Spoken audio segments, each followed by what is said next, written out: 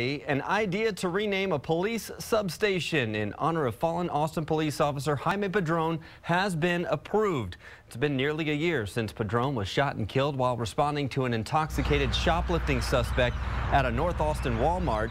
The council's action means that APD's Lamplight Village substation in North Austin will be renamed in Padron's honor. The vote this morning was unanimous. A formal renaming ceremony will take place on April 6th, exactly one year since Padron was killed.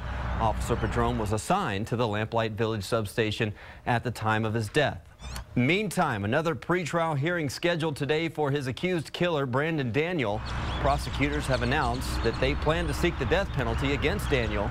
Police say Daniel had been drinking heavily and was under the influence of Xanax in the hours before Padron was killed.